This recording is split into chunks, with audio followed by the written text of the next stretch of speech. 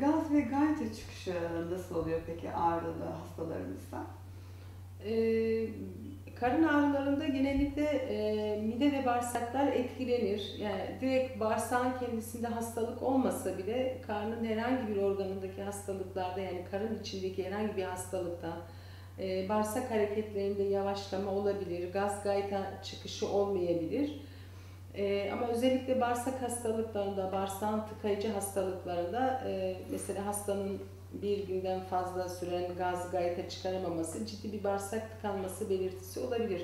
Bunlar bizim için tanıda çok önemli ipuçlarıdır. Hastanın uzun yani bir gün, bir buçuk gün hiç gaz çıkaramaması, beraberinde sürekli karnının şişmesi, büyük abdesti çıkmaması bunlar bizim için ciddi e, sinyal verici bulgulardır. Onun için hastanın şikayetlerini dinlemek e, tanının genelde yüzde yetmiş e, tanı koyduruyor.